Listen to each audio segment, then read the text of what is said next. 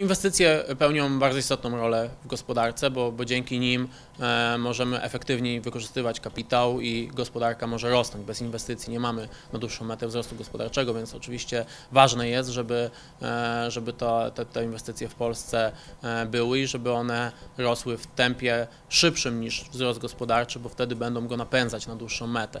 E, Pamiętajmy, że w zeszłym roku mieliśmy taką trochę zapaść inwestycyjną wywołaną w dużej mierze przesunięciem perspektywy unijnej, em, co spowodowało, że mm, część projektów gdzieś tam troszeczkę utknęła i to wpłynęło przejściowo na e, spadek inwestycji. W tym roku e, ta sytuacja się trochę normalizuje, więc już jakby e, choćby z tego względu będzie, będzie lepiej, ale też warto myśleć długofalowo o, o procesie inwestycyjnym.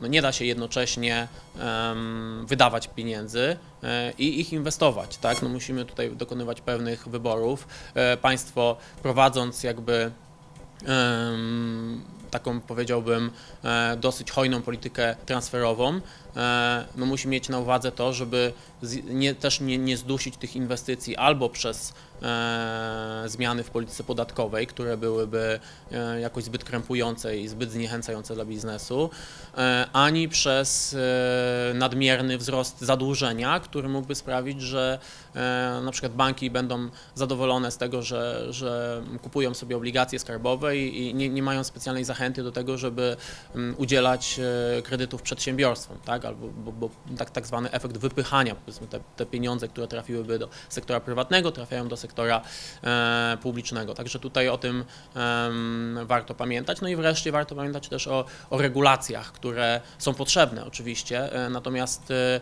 no jednak przedsiębiorcy w ostatnich latach w Polsce mocno narzekali na wzrost e, mm, regulacji w prowadzenia e, działalności gospodarczej i to wynikało e, w dużej mierze z e, m, tego, jak zmieniała e, się polityka Brukseli i to, gdzieś tam było później trafiało do naszego prawa.